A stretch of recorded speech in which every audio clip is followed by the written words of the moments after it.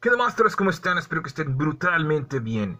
El día de hoy vamos a hablar de un tema el cual ha causado un poco de revuelo en la plataforma, más que nada en el ámbito, obviamente, coleccionista, debido a que el canal eh, de más de 100.000 suscriptores, el canal del señor NBR Films, subió un video hace unos días, semanas, no sé, más o menos, este, pues, eh, comentándonos dónde conseguir figuras de Spider-Man, de aquella saga tan icónica y maravillosa de películas del director Sam Raimi.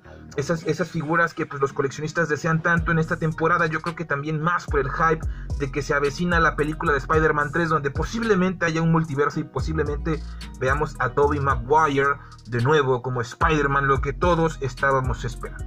Pero bueno, Después de ese video que subió este muchacho, pues hubo eh, un hateo terrible en grupos, ¿no? De chinga tu madre, de tú no sabes, inflas los precios y la chingadera, ¿no? Cállate y mm, te vas a morir, y muérete y te odio, y cosas así. Y yo la verdad no sé por qué tanto hateo con ese muchacho. Yo la verdad yo no he visto mucho, mucho, mucho su contenido. Pues sí lo conozco, sí lo ubico. Sí sé que es, hace videos stop motion, que es lo que yo más consumo de él. A mí me gusta mucho el stop motion. Y pues personalmente quiero decirles que ese chavo, pues sí hace buenos trabajos, ¿no? Ya quisiera yo tener esa habilidad. Pero bueno, dejémoslo por ahí. Yo aquí en este vídeo no te voy a hablar de su polémica exactamente porque para eso pues ya hay muchos videos en la plataforma comentando qué dijo y qué no dijo.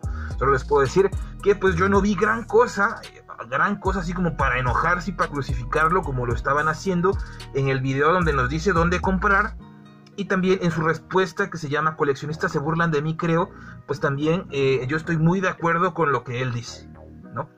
Lo que sí les voy a decir es que en los precios que dice en su primer video, donde dónde comprar las figuras, pues sí creo que se manchó un poquito y, sí infló tal vez un poquito los precios. Y pues más o menos de eso vamos a hablar, ¿no? Yo no soy un gran coleccionista de Toy Biz. Yo, ustedes saben bien que yo no consumo mucho esas figuras. Eh, tengo poquito, pero sí soy un, comprador de, de, figuras en grupos de Facebook y yo más o menos he visto las figuras por ahí más o menos sé cuánto cuestan y todo ese rollo. Y pues de eso vamos a hablar y también les voy a mostrar lo poquito que tengo y pues vamos a ir platicando levemente. Así que pues vamos a arrancar ya con este video rapidito, rapidito, rapidito. Lo que sí debemos admitir es que esta, esta saga de figuras de Toy Biz, que creo que obviamente tuvo tres niveles, porque son tres películas, pues la neta están bien padres. Esas figuras eran lo que todo niño, la neta, quería tener para jugar en aquel entonces. Todo niño que vio la película, todo niño que conocía a Spider-Man, o sea, Spider-Man siempre ha sido de los favoritos de la banda, ¿no? Siempre ha sido de los super favoritos de la plebe. Yo me atrevo a decir que puede que sea el superhéroe más reconocido y afamado de todo Marvel. NBR Films fue muy claro en su video y prácticamente nos dijo que estas figuras no las puedes conseguir ya en ninguna tienda comercial, ya en ninguna tienda oficial, ni mucho menos, ¿no? Eso es real, por eso es difícil de conseguir, estoy de acuerdo. Estas figuras eh, las vas a conseguir en tiendas de coleccionistas, ¿no? De coleccionistas, pues por así decirlo, independientes, que puedan conseguir por ahí, ¿no? Esas tiendas que pues no tienen quizás alguna licencia como tal, como le serían Liverpool, Walmart y todas esas, sino por ejemplo la tienda de el Master Toys, ¿no? De coleccionismo y la verga, pues ahí puedes encontrar esas figuras. Puedes encontrar figuras también de este tipo en las chácharas, en los supermercados, perdón, en los supermercados, en los tianguis, en los tianguis, puedes conseguirlo en los tianguis. Puedes conseguirlas también en grupos de Facebook, puedes conseguirlas también en compras por internet, en Mercado Libre, en Amazon y demás. Esos son los únicos lugares que puedes... también puedes conseguirlos pues, comprándoselo a, un amigo tuyo que, las tuvo y que ya no les gusten. Y pues ahí las puedes agarrar, obviamente. Pues son los lugares donde puedes conseguirlos porque la neta ya no hay. Ya no hay, ya no hay. Ahora, si tú los buscas en las chácharas, en los tianguis, si tú vas al rock show, pues prácticamente vas a encontrarlas ya fuera del empaque, en un 99.9% me atrevo a decir que las vas a encontrar fuera del empaque, eh, quizás sin sus accesorios, quizás obviamente ya jugados por alguien, porque obviamente estas figuras en aquel tiempo fueron para niños, y obviamente quizás hubo uno que otro coleccionista que las compró, las conservó, las guardó, que sí, que puede ser posible, y obviamente. entre más jugada esté, entre menos tenga accesorios, pues va a ser, va a ser más barata. Estas piezas es obvio que ahorita por la demanda, por lo que son, por lo que significan y por todo el desmadre que existe ya por el hypeo de estas películas, han subido de precio. Un Spider-Man como este, porque obviamente yo tengo este, es el único Spider-Man que yo tengo, vamos a, vamos a quitarle esta hueá. Este Spider-Man, así, todo flojo, pues más o menos te va a venir saliendo unos 200 varos. Fácil. 200, 300 varos. Así es como yo, yo lo he visto. Ya jugado, ya medio puteadón. Ya si cuenta con sus accesorios, si cuenta con sus bases, por ejemplo. Eh, por ejemplo, esta figura venía con esta, ¿no? Así más o menos lo encuentras o sería completo con sus accesorios, pues ya aumentaría el precio, pues quizás a unos 400 o 500 hay que entender que el pedo del coleccionismo es bien subjetivo, ¿no? Los precios los pone la gente que los vende, ¿no? Puede que esté muy elevado, puede que esté muy económico. Por eso, pues muchos te dicen, no, pues hay que buscarle, hay que, hay que saber buscar, eh, te va a salir la chida, eh, porque sí existe, sí existe, sí existe que te salga una figura barata. Por ejemplo, yo tengo esta joya. Para mí esto es una joya en mi colección. Es una figura Toybiz de Mary Jane en caja sellada, sellada. Como pueden ver, ahí está, está completamente sellada. No es de los personajes favoritos, no es de los personajes más relevantes. Hay figuras más chingonas, más caras. Pero esta figura más o menos la he visto en Mercado Libre y sabemos que Mercado Libre es un lugar donde prácticamente los precios están súper inflados. Yo esta, esta figura la he visto en 1500, 1800 baros, así. Fuera del empaque completa la he visto en 500, en 400. Les digo, esto es bien subjetivo. Pero esta, esta figura así encaja, y les voy a decir cuánto me costó. A mí me costó 120 baros. Por eso es que yo les digo, eh, eh, las ventas, el coleccionismo es bien subjetivo, o sea, la gente le pone el precio que quiere. Puede que te encuentres personas que no sepan personas que si sepan y puede que te lo vendan muy caro porque te quieren ver la cara de tonto, puede que te lo vendan al precio eh, más razonable porque pues puede que esté muy fregada la figura, puede que le falten accesorios o puede que esté muy completa la figura y por eso obviamente vale más o puede que esté en su caja. Y eso le va a poner el precio.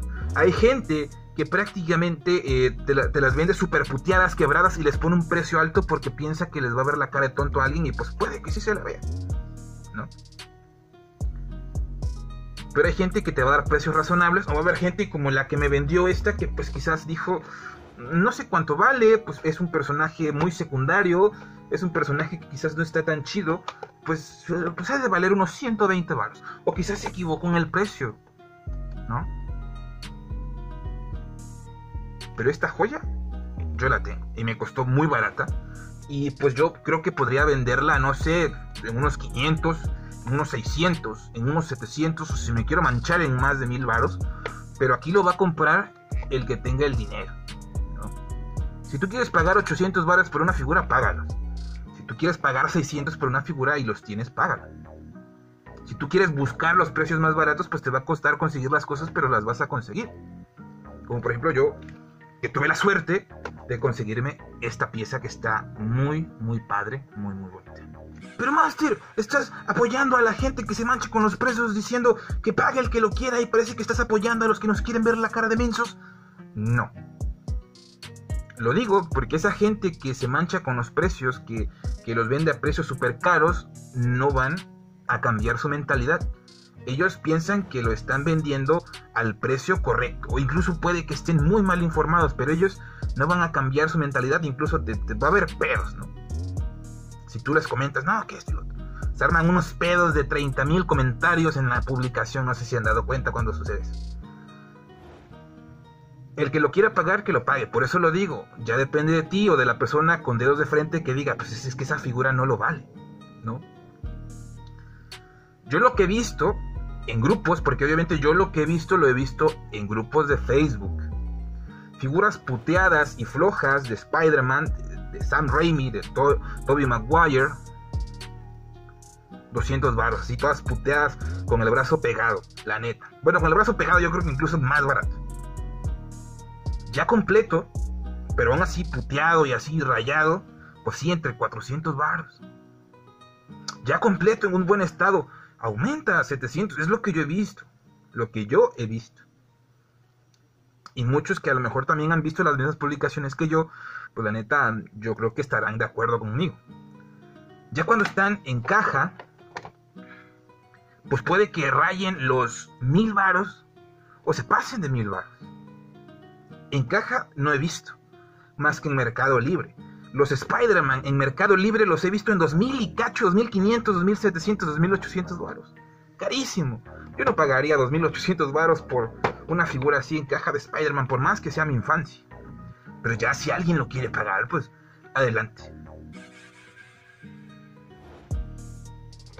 Hay gente que también te quiere vender los sentimientos. Ay, es que este es mi Spider-Man con el que yo jugué en mi infancia y pues está bien padre mis recuerdos. Para, para mí vale mil varos, lo voy a vender en mil varos. Es su idea. ¿Está equivocado? Claro que sí está equivocado. Ya depende de la gente que se lo quiera comprar, pues que se lo compre, si no, pues que se lo quede, que se quede en venta por siempre. ¿no? cómo, cómo se dobla de sí, también. dio mucha guerra, dio mucha guerra. De verdad sí jugué mucho con este güey. En fin, en conclusión, donde puedes encontrar estas figuras es en las chácharas, en los tianguis, en el famoso rock show. Ahí los vas a encontrar. El rock show dicen que es muy carísimo. Ya depende de ti si lo quieres comprar. Entre más, ah, perdón, en grupos de Facebook, en Mercado Libre, en Amazon, en ese tipo de tiendas, o quizás con los primos, con los amigos que tuvieron estas figuras y que las tienen arrumbadas por ahí, pues a lo mejor también encuentras suerte. En conclusión, amiguitos, lo importante de este video fuera de dónde, dónde venden estas figuras, dónde las puedes encontrar, porque sí se pueden encontrar, no es que sean súper difíciles. Uy, tengo que ir al Atlántico. No, es fácil, hasta cierto punto. Lo importante aquí es el precio de estas figuras. Es bien subjetivo. Puede que te vendan figuras bien chingonas, bien buen estado, bien baratas, como a mí me tocó esta en 120 baros. O puede que te quieran vender una figura bien puteada, bien cara. Ya depende de ti si tú quieres pagar. Si para ti vale realmente la pena si tú tienes el dinero para comprar.